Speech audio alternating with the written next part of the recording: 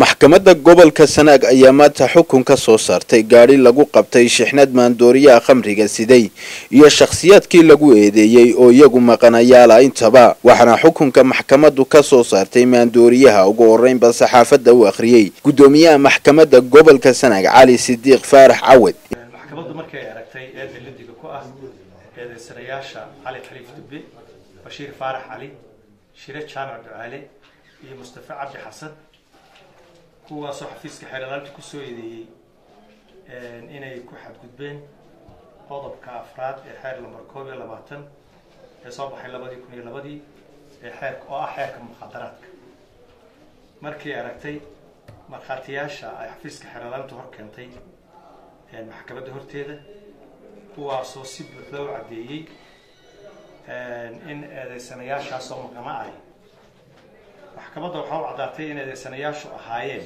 Kuwii siday khamrigaas laba boqol iyo lixdan iyo sideed dalo kuna siday gaadhiga soddon iyo shan siddeetan iyo shan sagaal oo sayraf ah. Saas daraaddeed maxkamaddu waxay ku xukuntay midkiiba saddex sano oo xadhiga iyo saddex milyan oo ganaxa waxaana intaasi kadibna meel fagaare ayaa in ka badan laba boqol iyo konton dhalo maandooriyaha khamriga lagu burburiyey. Waxaa iyaguna kelmado kooban goobtii khamrigaasi lagu burburiyey ka yidhi guddoomiyaha maxkamadda rafcaanka gobolka sanaag maxamed axmed cabdalle iyo xubno ka tirsan ciidanka booliiska gobolka sanaag.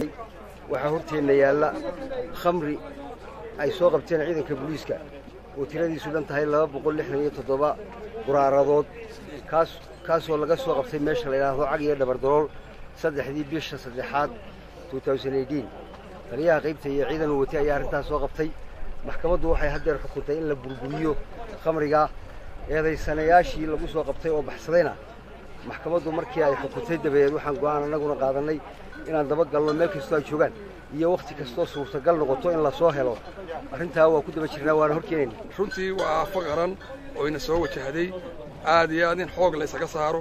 Qof kasta oo reer somalilanna oo booliiska loo soo sheegay ayaa loo baahan yahay. Maantana maxkamadda gobolku way xukuntay khamrigan in la gubo. Waxay kaloo xukuntay gaadhiga wixii sharcigu ka ogolaa.